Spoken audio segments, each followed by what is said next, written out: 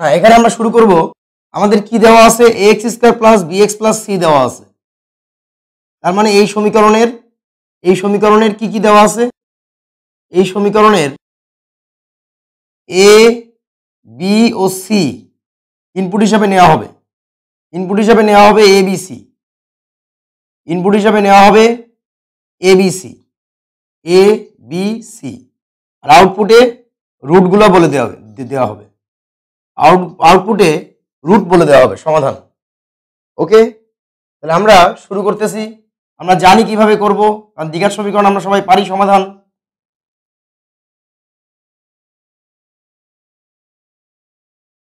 Input হিসাবে input হিসাবে A B সিতে মান গ্রহণ করি। ওকে করলাম। এর পরের কাজ কি? এরপরে কাজ হচ্ছে নিশ্চয়কটা বের করে ফেলা, নিশ্চয়ক। কারণ নিশ্চয়কের উপর মূলের প্রকৃতি ডিপেন্ড করে, তাই না? তাহলে আমরা ডি নামে একটা ভ্যারিয়েবল নিলাম, সেই ডি এর মধ্যে B square minus four A C বের করে ফেললাম okay B square minus four A C তারপরে চেক করব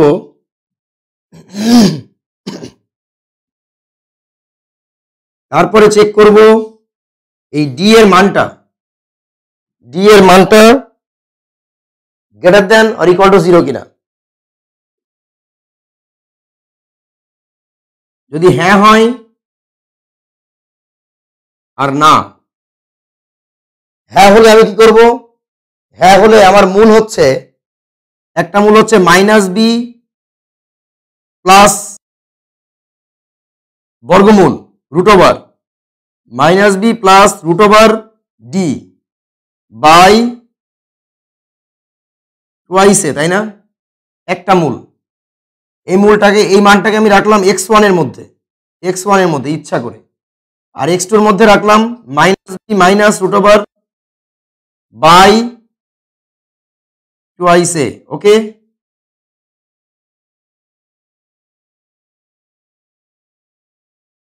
ক্লিয়ার তারপরে কি করে দিলাম? ছাপি মূলদয়।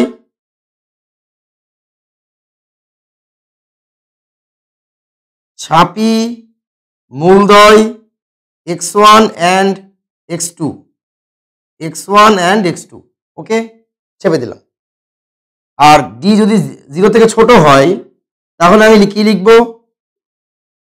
ছাপি মূলদয় জটিল।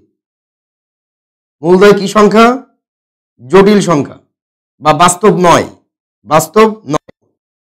এরপরে এটা এবং এটা দুজন, দুজনই কমনলি চাচ্ছে শেষ হবে। এটা শেষ করে দিলাম। এটা হলো যারা একটু কম পারে তাদের জন্য। কিন্তু আমরা জটিল মূল্য বের করতে চাই।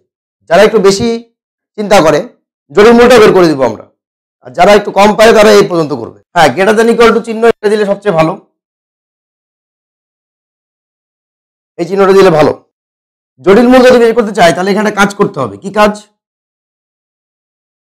জটিল মূল তো আমরা এভাবে বের করি। যেমন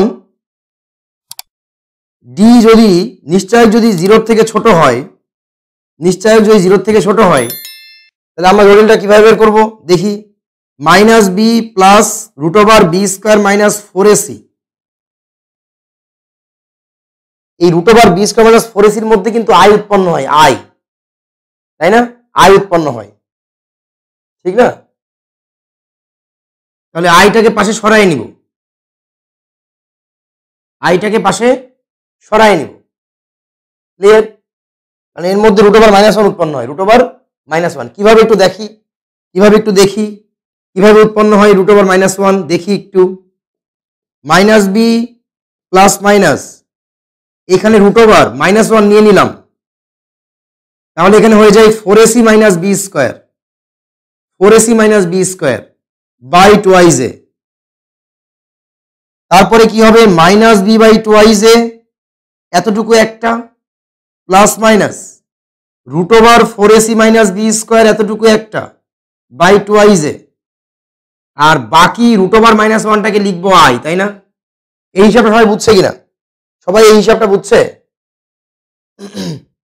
এটা তো ম্যাথের জিনিস।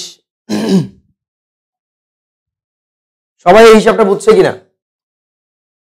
Minus B plus minus root over B square minus four C by twice A যদি জটিল মূল হয়ে যায়, তাহলে এইখানে আই আসবে। কীভাবে?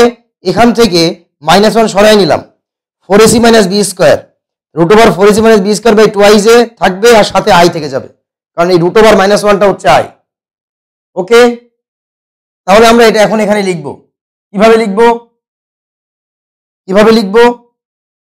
Minus B minus B by twice A এটা একটা ভ্যারিয়েবলের মধ্যে রাখলাম।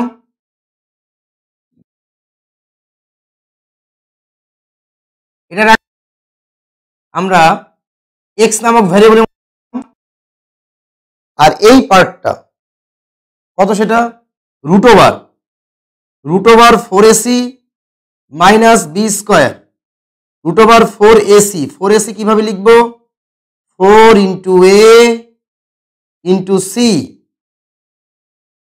minus B square এই পার্টটা বাই টুয়াইসে বাই টুয়াইসে এইটা রাখব কার মধ্যে? এইটা রাখব আরেকটা ভ্যারিয়েবলের মধ্যে রাখলাম ওয়াই রেখে এবার ছাপবো। এবার ছাপবো। কি ছাপবো? ছাপি।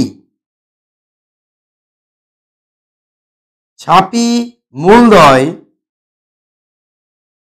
একটা হচ্ছে এক্স এটা হলো এক্স এক্স তাহলে এক্স প্লাস এটা হচ্ছে ওয়াই তাহলে আই ইন্টু এর সাথে ওয়াই আইটা কিন্তু এখানে মরা অক্ষর আইটা এখানে কিন্তু অক্ষর, কারণ রুট ওভার মাইনাস ওয়ান তো কম্পিউটারের ভেতরে নাই, তাহলে আইকে অক্ষর দিয়ে প্রকাশ করা হয়েছে অ্যান্ড এক্স মাইনাস